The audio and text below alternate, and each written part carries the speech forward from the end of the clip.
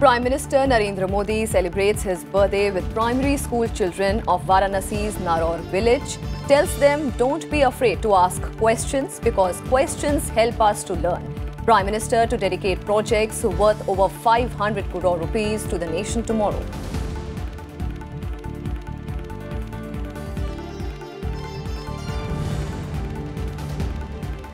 India and Malta can help each other to achieve rapid development, says Vice President M. Venkaiah Naidu. After bilateral talks with Maltese President, both sides signed three MOUs, including maritime cooperation and tourism and collaboration between foreign services institutes of the two nations.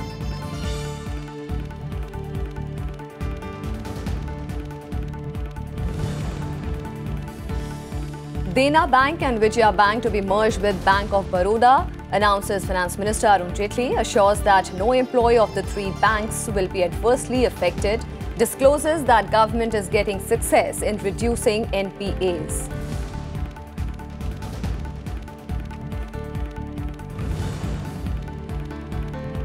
India's diversity shouldn't be a reason for discord, says RSS Chief Mohan Bhagwat on the first day of the three-day Sangh conclave, India of the Future and RSS Perspective. Bhagwat explains evolution of the RSS, asserts that the organization is aiming to achieve a self-reliant society.